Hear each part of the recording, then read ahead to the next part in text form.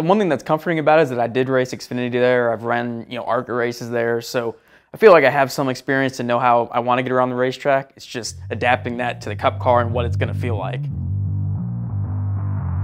I mean, I think when you think of Watkins Glen, it's fast, it's heavy braking, and there's a lot of flow to the course. For me, I've, I've always thought it's one of the places you can feel how, you know, one corner connects to the next one they all lead into each other. Um, but we start here with turn one. I mean, always crazy on restarts, three and four wide, the 22 stuffed it in there, you know, like you're always under attack pretty much, always going forward or you're going backwards. So um, you try and get as much speed as you can off turn one because you can actually carry all that speed from turn one all the way to the bus stop through the S's. So turn one's an extremely important corner.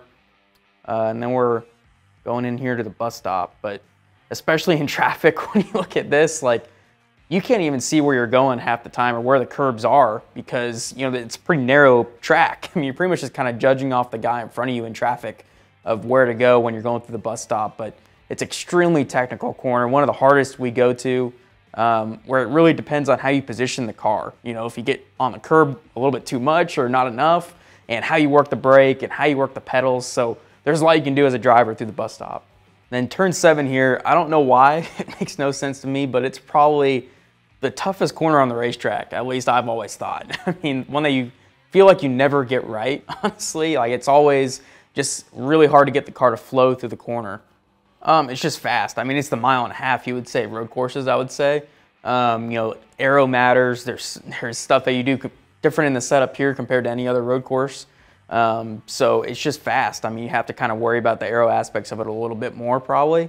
Um, but I think it's a place that still has a lot of fun. I mean, it's still always one of my favorite road courses. See, now he's going in the S's here, and the S's are probably one of the sketchiest and hardest corners that we go to. I mean, it's uh, extremely fast. You're in the throttle hard. There's not much room for air. There's guardrails on both sides. We've seen a lot of big wrecks there.